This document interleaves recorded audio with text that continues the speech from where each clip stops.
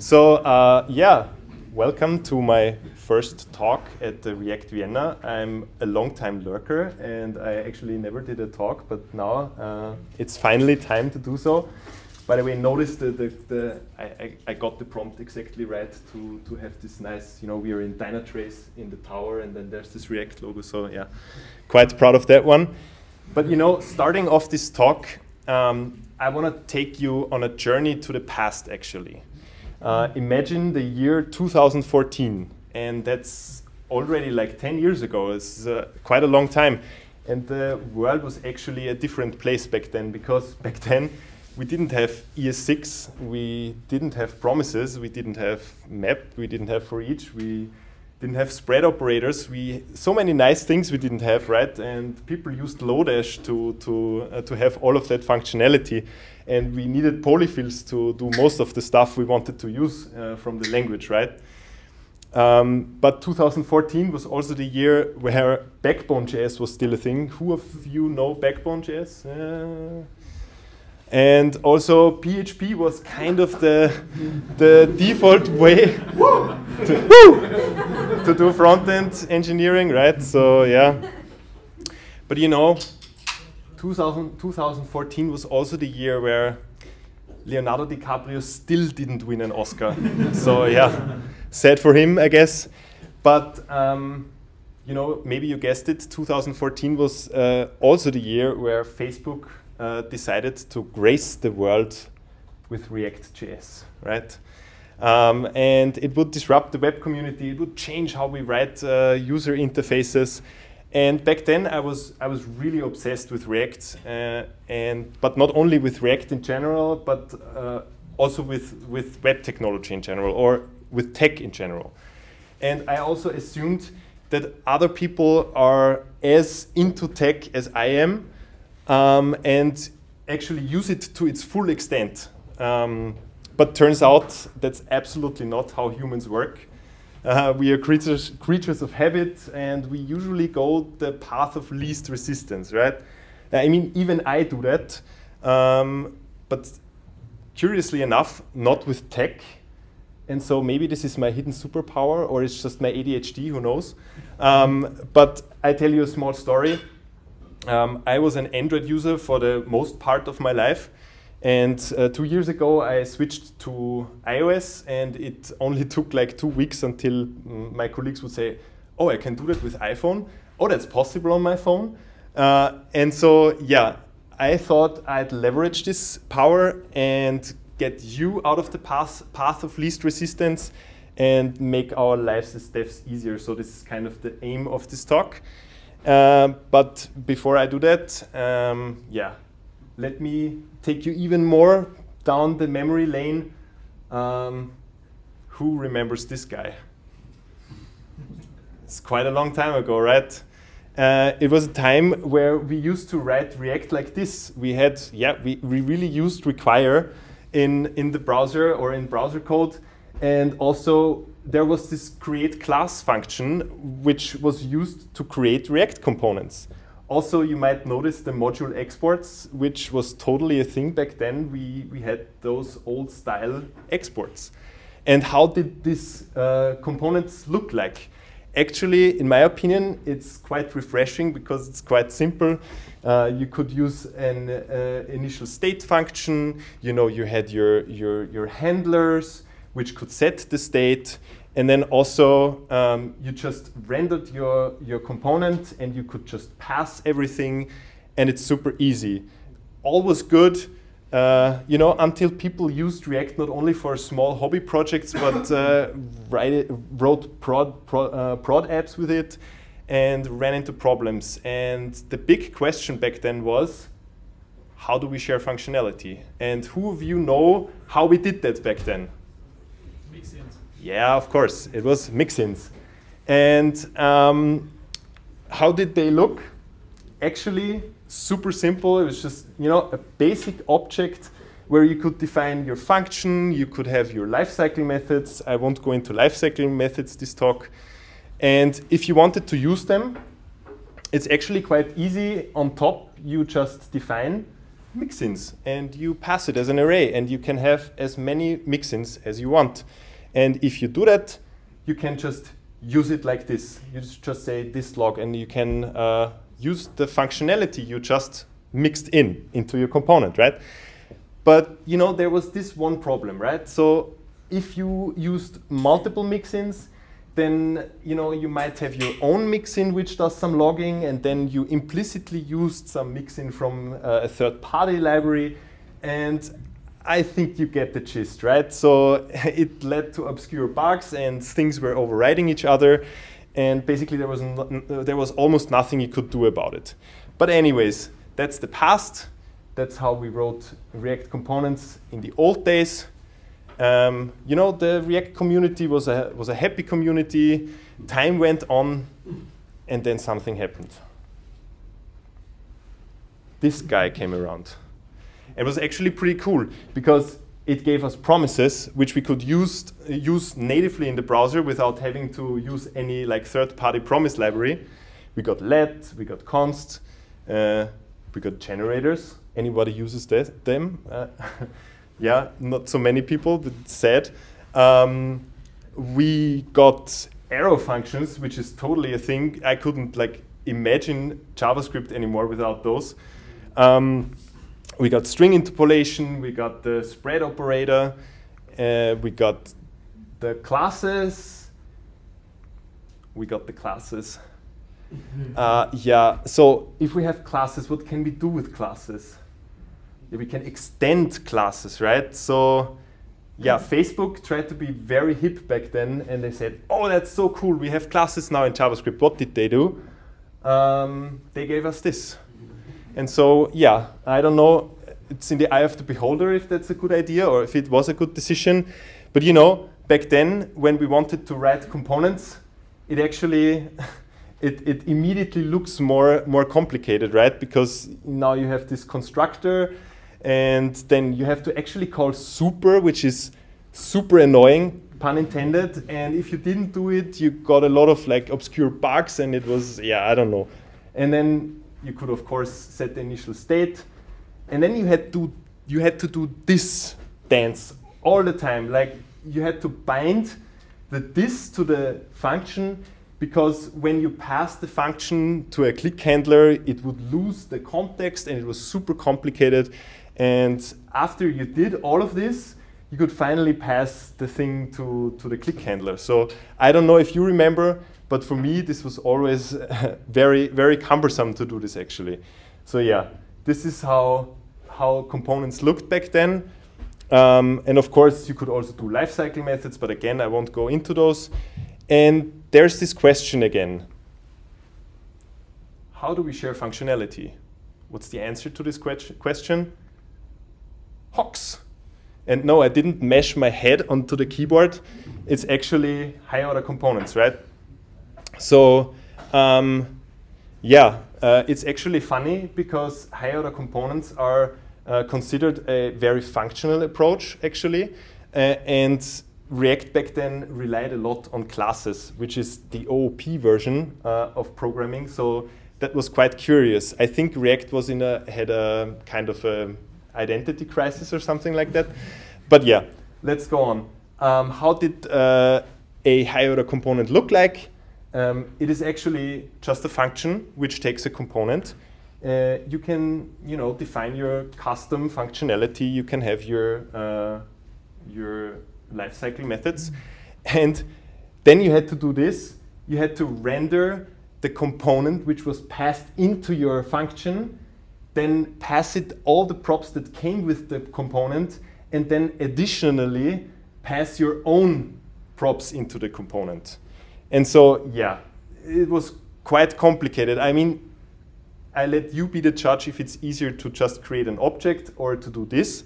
But anyways, um, if you wanted to use a high order component back then, um, you had to write this thing where you just say, hey, with logging, and then you wrapped your component, and then you could just use the custom functionality via accessing the props, right? So yeah, that's how uh, in that area we used to write React components. And now you might ask, what do I do if I want to use multiple higher order components? Well, um, uh, yeah, so either you do this abomination, right? You, you just wrap uh, the higher order component with the higher order component with the higher order component. But it was actually back then when I learned about the, the compose function, which makes it a little bit nicer, but still, you know, it's uh, you have this on, on the bottom of your of your component, and keeping track of this was not very easy, so to speak. But you know, um, the React team was aware of those problems, of course, and uh, React 16.8 brought us hooks, right? I, I love those animations. Can you tell? Um, yeah, so our Lord and Savior hooks, right? They will solve everything, right? They're super easy to use, right? They're super intuitive to use, right? Easier than lifecycle methods, right? So, yeah, I let you be the judge of that, but um, it's actually crazy because React version 16, or this version at least, was released almost four years ago. And so not a lot of versions have been published since then. So now we are on 18.2 or something like that. I'm not sure. But yeah, speaking of hooks, we all, we all love it, right? Use effect. It's the most beautiful hook we have.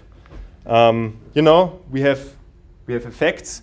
And with effects and other hooks also come dependency arrays and we all love dependency arrays, right? So you never know if am I stable, maybe not, who knows. You're using something from a third party hook, you can never be sure.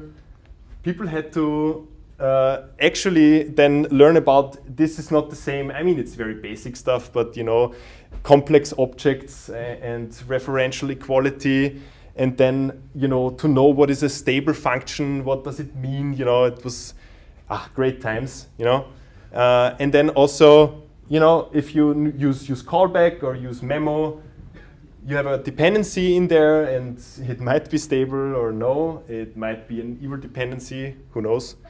Um, yeah, and show of hands, the number of debugging sessions because you had some unstable uh, dependency, right? I, have done this so many times where something re-renders and you just what the hell is going on and you, you, you, go on a search and then it's some third party dependency or something. So I, I, I asked DALL-E to create this, this art of re-rendering React and re-render cycles and I think it, uh, it, it really turned out quite well. And so, yeah, doing all of this stuff, I'm like, this is fine, right? So, but actually, the, the title of my talk is called Fun React Hooks You Might Not Use, right? So, and this guy is like going on about this past stuff. But you know, I, I think it was important to, to, to tell you how this leads up to and what I've been, you know, doing in, the, in my past uh, career. And so, yeah, I've lived through all of the phases of React, so to speak. And now we have hooks. And um, I think there's ways where we can make our lives easier. And there, right now, React has uh, released a few really cool hooks. And um, just to mention a few, uh, I have looked at the Google Trends. So um, there is use sync external store, use transition, use ID, use deferred value, just to name a few. I think in, in trends you cannot have more than four. And actually, this one is where it got released, so I don't know what this is, but uh, this is the, the re release date, right? Um, and so if you compare that with uh, use effect, it's like it's here, right? so not a lot of people are actually searching for those hooks. And so, you know, I thought maybe uh, I'd encourage you to, to use some of them because some of them are like really, really handy and really cool. Um, and so there's also an honorable mention. We have use reducer, and it's somewhere around here. And so I thought I'd also put that into the mix because in I feel that a lot of people are afraid of use reducer for some reason and rather use 10 million use states instead of use reducer. So yeah, I thought I, I also take a look at this hook. And so the first one, um, yeah, I want to do like a little game because I'm, I'm interested in, in your experience. Uh, I want like a, a, quick show of hands. Um, who of you knows this hook? And who of you has already used this hook in production? Okay, that's interesting because actually um, I've seen a lot of production code like this where you know um, there's some generate ID stuff and then it's like math random and some string shenanigans and substring. And so yeah then people are putting that into some state and then you have you know your your your password hint ID and you put that there. And actually yeah it's it's quite messy because there is a far easier way. You just import use ID you just use the hook and then you get a password hint ID which you can then use in your components and it's super easy. And it also actually works on server-side rendering with React Server components, um, which is pretty neat to know in my opinion. Um, so yeah, it's, it's, it's a very, uh, very nice hook and uh, maybe you can use that in the future. Also, now we have use reducer. Who of you knows this hook? Yeah, that's like a little bit more, I think. And who has used this hook already? Yeah, and who is afraid of this hook? oh yeah, that's also like a few. Um, because actually, um, my theory is that when people hear use reducer, they are thinking about Redux, and I have to admit, this sound it, it, it, sounds scary, right? But actually, you can do cool stuff with reduce, use reducer, and the the synopsis is like it's very easy to uh, to use. You just pass it a reducer function and some initial state, and you're good to go. But you might ask, how does this reducer function look like? Um, actually, it's very easy because the function receives the current state and an action, and it's basically a very big switch statement which can switch the action type. And then you can do cool stuff like this, where you can have a reset action to reset your state. Or you do some complex state computations and then you return the new newly generated state. And to put this into perspective, I'm very sorry for very small code this time, but a lot of times in, in my career, I have seen React components like this, and I think you have too. Uh, we have around seven, eight-ish uh, use state uh, functions, which are used for all the, the, the form fields. And then there's also this notorious reset state function where of course we always forget to reset this one state and then we have this bug ticket and we have to we have to do this again and also very complicated state handlers and it clogs up our components and you know it just could look like this you just use the use reducer function and then you just dispatch uh, your, your, your actions and it really cleans up your component. And I think it really pays out to, to look more into the, the use reducer because it really can tidy up your code and make it more readable for, for, uh, for future code readers. So as I already said, you know, uh, yeah, sorry, I kind of fucked this up a little bit. Um, yeah, but anyways, this, this is how it looks, right? So, which leads me to the next hook actually, um, which is called use sync external store. What a mouthful, right? so, who of you knows this hook? And who of you has used this hook already? Okay, that's very little. So I think this this is one of the hooks you did not know you needed uh, because it's actually really cool. Um, it's also very easy to use you just um, pass it two things, two functions actually. The first function is uh, get snapshot, and the second function is the subscribe function. And now you might ask, why do I need this, and how does this look like? Um, we have the get snapshot function, which just returns any piece of state, which has to be stable. That's important. And we also have a subscribe function which um, you can subscribe to some events and you also have a cleanup function. But why should you use this? In this very example, I've used Navigator Online, which tells you if the browser is connected to the internet or no. So you could have a chat indicator, for instance, and you just do this, and it's the easiest way to display an online status to your app, actually. Um, and you could also use this for uh, you could also use this for WebSocket uh, state, and if the WebSocket is still connected, anything like that, I think it's pretty handy, and it's another way to avoid use effect. Great, isn't it? So, yeah, great. Um, and you can also show off to your colleagues that you know this hook because it's like it's very. You have a question? Wasn't subscribed at the end in the slide before? Uh, you mean, oh, what? What do you want to? So one slide earlier. One slide earlier. It was this one, No. or like one? Yeah. Yeah. And then subscribe, and now you it the other way around. Oh, really? Then uh, it might be an error, because I know that the first thing is, uh, yeah, this is okay. Good, good. Uh, it, it's actually the other way around. You're you're absolutely correct.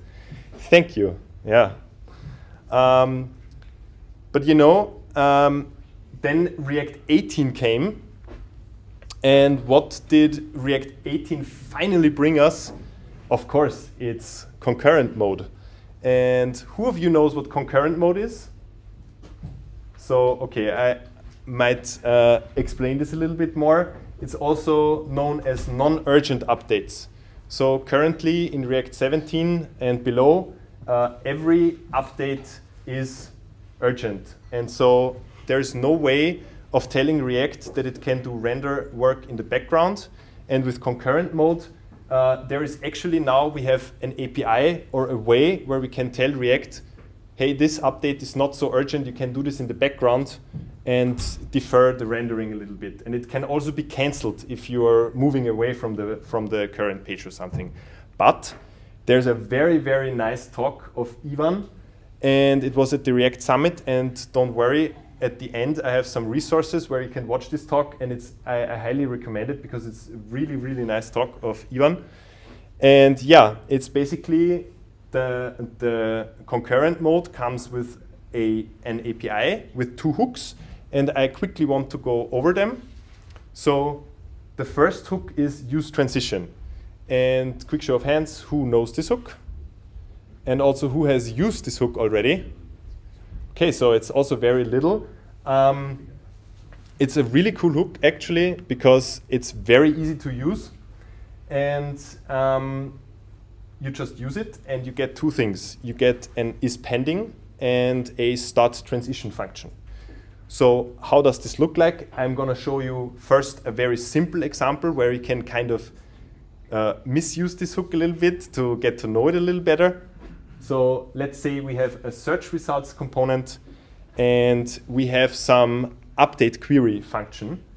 And all of the, all what this function does is it sets the query and it also starts a transition, which then does some async work. And at the end, we set the results.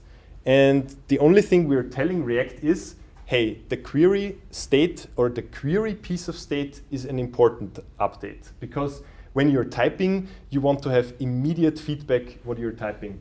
But anything else, like all of the other stuff and all of the other state that comes afterwards is non-important. And this is marked by this, uh, by this start transition.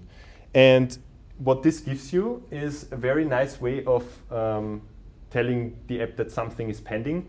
And you can use this as a very easy way to avoid use effect again and have uh, start transition when you do web requests.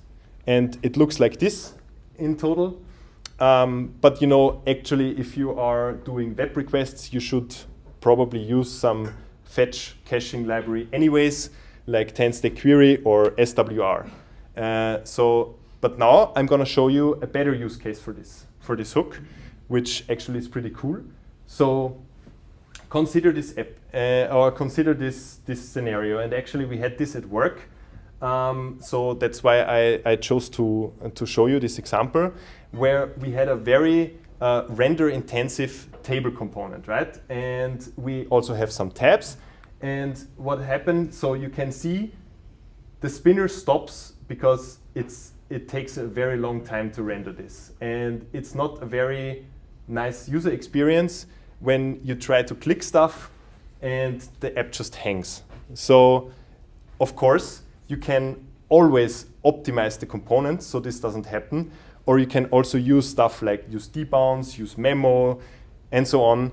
But in this case, React gave us just one more tool to cope with such situations because sometimes you're importing the table from a third-party component library or something, and there's very little you can do to increase the performance, right?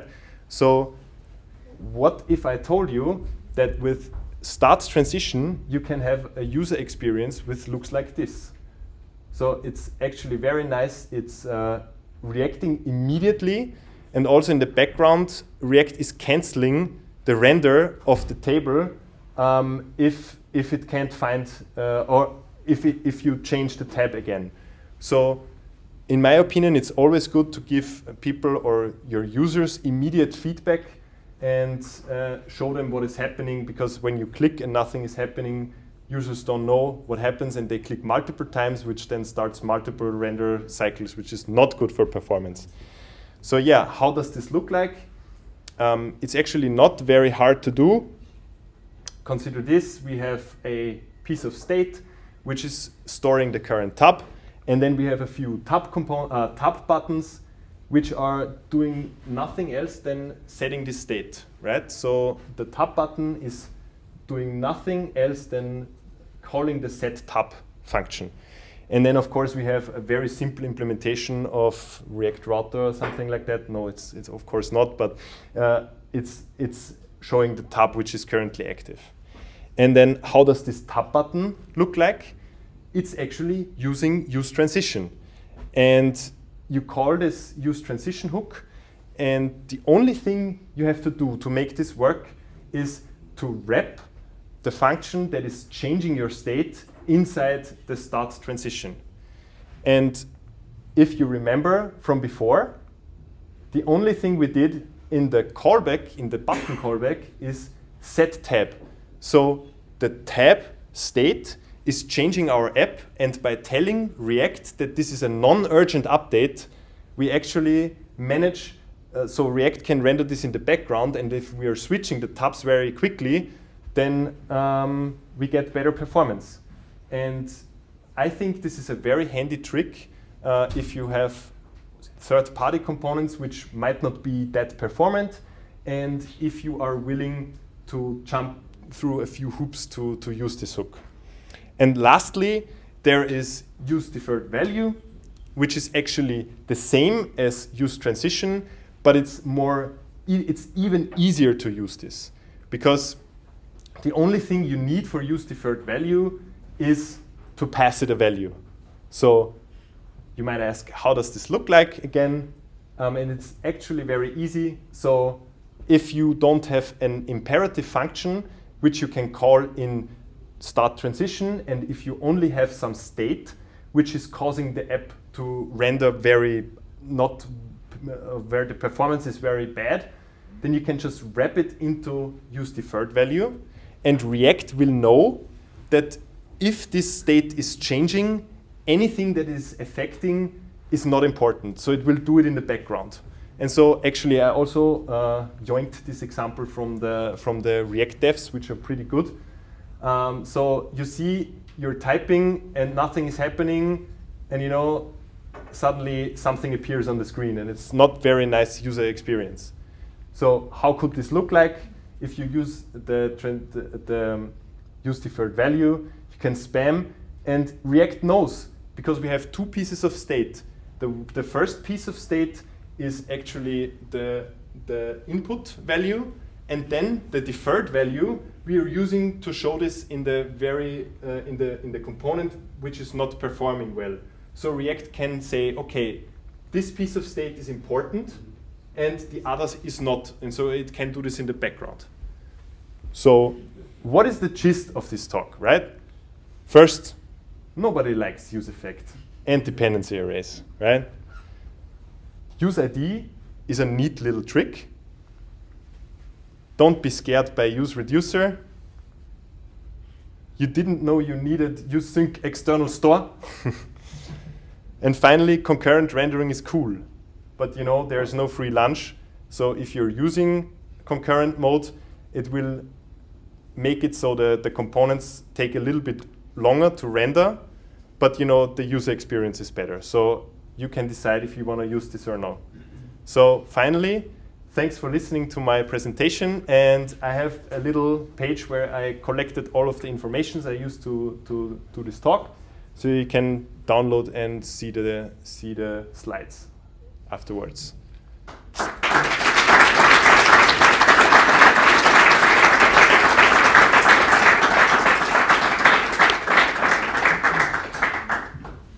Questions?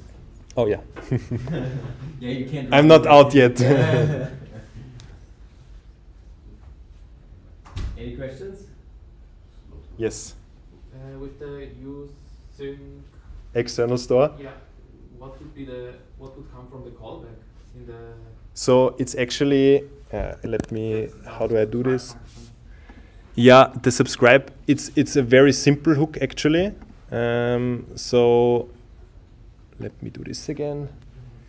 So the callback is just a void function. And if you call it, then React will re-render. And by re-rendering, it will take the get snapshot again. So anytime you are calling the callback in any form, it will just re-render the component, which then leads to the state being asked again. Yeah. Did this answer your question? Yeah, so, so it's like you, you don't have to define anything. You Just Yes. know that subscribe knows when it's Yeah. get- It's basically the, the callback function is a hey React re-render this component, and it will re-render. Yeah. So you don't have to pass any state or anything. It's just a void function. Yeah. Yes. You said that the get snapshot function should be stable. What does this mean? Wh- what You function? said that the get snapshot function should be stable. So uh, not not the function itself, but the the result should be stable, and it should have the same reference all the time. So if you are creating a new object here, and you're returning that, you will have an infinite re-render cycle, because you're creating an object every time, and React is just comparing the references, which then is different all the dependency arrays. You know, we all love it, right? so yeah, this is a very big caveat. You have to use some value that is either a simple value like number, string, boolean, or you have a stable uh, stable value you pass back there. Yes. This is exactly my pain point, or one of I, I use I, I make uh, use of this hook a lot, but this is like creating stable references to external stores that don't have stable Yeah. references is a Yeah. freaking pain. Yeah. Um, have you ever like basically what I do is I, I create now custom caches and I Yeah. make helper functions to do that. Yeah. But it's it's it's No, it feels terrible. Yeah. a better solution. Yeah. Maybe if I come up with one, I'll I'll ping you. Perfect. Have but yeah, email. but maybe you know maybe the new cache function from React or something. Okay. Yeah. That, that's yeah. But I don't know if it's is the new cache function stable already in the. No idea. Okay. It's very bleeding edge. Yeah, okay. Well, what? I haven't read about this. What, Yeah. what is the new cache function? So you can give it a function and it will look at the input parameters and it will create a small cache for, for, your, for your function. So um, if you maybe have a function that gets you some user by ID and you pass the same ID all the time to this function, which is cached, then you will always get the same result. And it doesn't work like use memo where it always, um, where it only caches the last result. And if you have some result from before, it has to recalculate it, which in my mind didn't make a lot of sense, but it's actually like it this works. And the cache function stores the cache for longer. But the, that's the question. Okay. And the React documentation also doesn't say, and I think the React team is not so sure about this either. So, uh, yeah, Is it part of the core? Yeah, it is. It's it will come, I think, with the use hook, and Yeah. it's also Makes sense, yeah, It's it's in the canaries that Yeah. Next.js uses. Really? Yeah. which you can npm install and like, Yeah. uh, add the type defs for them. Yeah. you probably should. So yeah, you probably should. Yeah. but do you know how long it caches it? So for Next.js, it's used for request deduping inside the same request cycle. Yeah. So I'm assuming for not long. Yeah. So it's used for the same request right now. Just that. Wow, interesting. But So it's like in memory, so probably forever, I guess. Yeah, yeah. Memory leaks. Yeah. yeah, that's crazy. Yeah. Now we, we learned all the rules of React hooks, and now we get the new hook called use, which defies all of the rules. So yeah, future talk. Any, anything else? Yeah. So to me, this really feels like i- if I have a team of developers and, and I now start to flex uh, among them with these cool new hooks, feels like introducing new uh, language features of Java in the team that is not used to. So how would you recommend slowly introducing these new concepts to a team, aside from giving a talk and getting yeah, you know, you just give a talk and then no. Um, so I tried to do this already in the company by doing an internal knowledge talk, and um, you know, I'm also very passionate about React stuff, and I often nerd out about this stuff with colleagues. So I think this is a good way of of um in my in my team actually I talked about those hooks and they were immediately like, oh, this could solve those problems we have right now. And then we experimented a little bit and it worked out and it was pretty cool. So yeah, I think this is the way to go to just talk about it and get people hyped out of, uh, hyped about it and get people out of the path of least resistance, right? Because we are all used to eff- effect and state and nothing else. And yeah, we have so much more. So it sounds like you didn't get any angry comments on your PRs. No, I didn't. It looks good to me. yeah. Eh, no, no, no, not even that. This was just LGTM. Yeah. Yeah. Approved. Needs work. Um, I just checked the React logs about the caching. Yeah. Cache function. It says React will invalidate the cache for all memoized function for each server request, and it's only intended for server components. right. Ah, Right. Yeah. Interesting. The more you know. It doesn't solve my problem on the client. Yeah, though, that's true. But uh, Yeah. Okay. Thanks to- for looking it up, though. Back to building caches myself. Any other questions? All right, then. Uh, thank you very much. Thank you.